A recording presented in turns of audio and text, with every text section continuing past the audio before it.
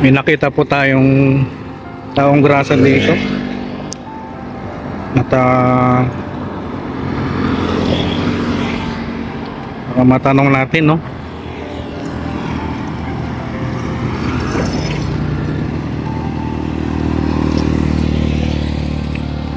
Taga saan ka, kuya? Ang tagbak. Pantagbak? Sa ano, bulot.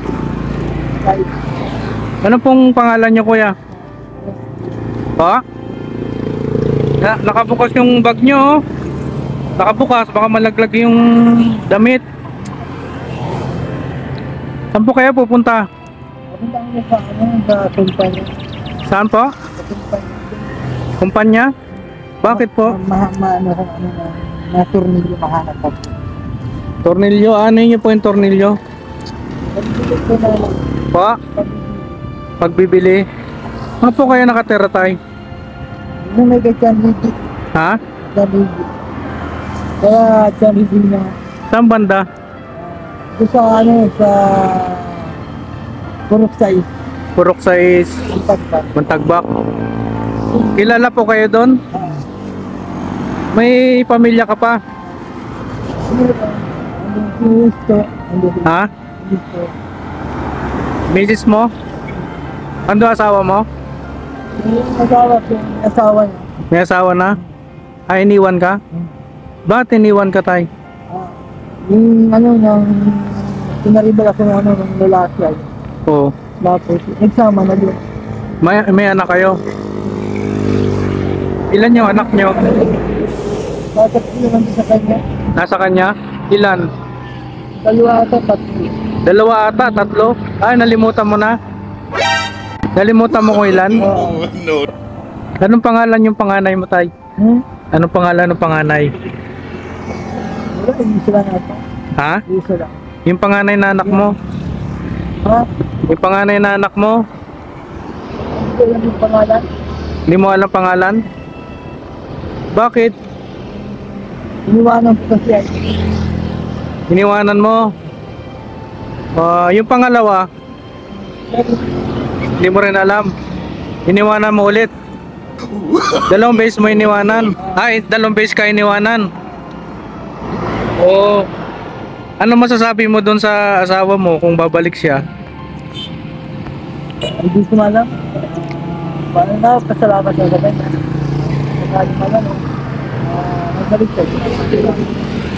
Napasalamat ka kung babalik siya. Pero mahal mo siya. Minahal mo. Gaano ka kalaki yung pagmamahal mo sa kanya? Ha? Higit pa sa buhay mo? Sino bang ano? Sino bang nagkagusto? Niligawan mo ba siya? Saan mo siya niligawan? Sa school? Teacher ba yon? Teacher? Katulad natin, Ah, katulad natin. Oh, saan kayo nakatira dati? sa ano, sa San Luis, San Roque? ah, sa kabilang story, Ha? San Roque, sa ang baga barangay niya, San Roque. Nangupahan ba kayo o saan kayo nakatira? Bahay lang, bahay ganyan. Bye-bye na sa tabi lang ng kalsada. Ikaw gumawa, marunong ka gumawa.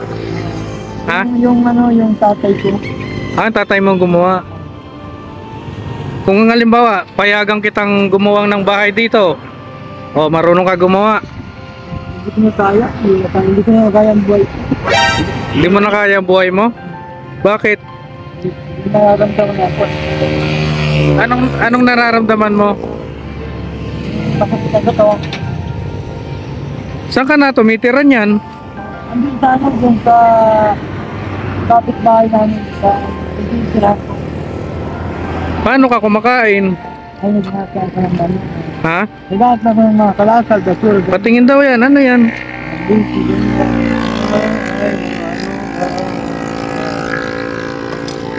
Buti, Buti.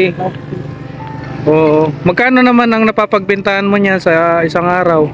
Ay, isang simana. Ha? Pag isang simana, sandaan. Isang semana? Hmm. Sandaan? Grabe man. Sampung ano, sampung, Sampung, sampung ano, sako. Tapos ikinta. 50. Ah. Marunong ka magkwenta ng pera. Ano, matulak mag Ano, yung, yung kulay ng 50, anong kulay? Yung sandaan. Ha? Ha? Blue? Yung isang libo. Yung isang libo. Ah, hindi ka pa nakakita. Ah. Oo, dahil hindi ka pa nakakita ng isang libo, bibigyan kita ng isang libo, dalawang isang libo. Oh.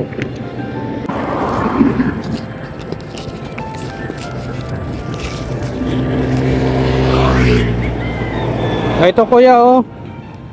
Dalawang libo yan. Oh, masaya ka? Masaya ka na dyan.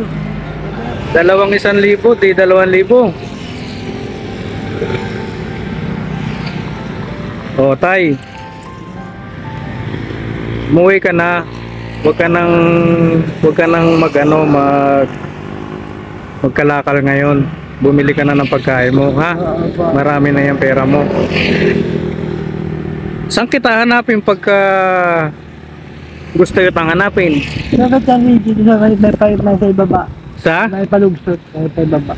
Pa- paibaba ng Ah, sa looban. Ah, yung may alam mo yung natatak ng barangay, ano, barangay sa barangay 6? Oo. Sa may, may, oh, meron yung papasok ganyan barangay 6 saan? sa ano, Mantagbak. Barangay sa Sa alam mo yung Senchut, simbahan. Yung simbahan Senchut. May papasok yung pag ano, papasok. kilala ka doon. Oh, Ano pangalan mo doon? Ay, mahal mo sa rescue. Sino? Rescue. Resty? Resty na guwapo. Oo, alam mo. Kabanyin mo. Cabanyeno. Oo. Resty Cabanyeno. Hindi, ah, pag hinanap ko yung asawa mo, halimbawa, nahanap ko yung asawa mo, Oo. anong gusto mong gawin natin? Papakasal na kayo o ano? Meron pa asawa, meron pa asawa. Ah, meron siyang asawa. May asawa. Oo. Halimbawa, ang iniwanan din siya nung asawa niya. Babalik siya sa'yo. Ganito lang ako. Ha? Ganito mo lang buhay ko. Gusto, mas ginusto mo na yan. Pa- Paano yung mga anak mo? Bahala na. Ha? Bahala na. Hindi mo pwede po yung bahala na yung Ba- malay mo matulungan kita pagsikapan natin yung mga anak mo. Payag ka, Bahala na. bahala na. Oo. Nasaan ba yung anak mo? Dala niya? Ilan ba yon? Dadalawa. Dadalawa. Ah, anong pangalan nung panganay? Ar- Arnilan to ata yun. Ha? Arnilan to. Arno lang to? Oo. Limot mo rin? Ba? Bakit? Ba't, ba't nilimutan mo? Hindi ka matatanong. Hindi ka na kinakausap.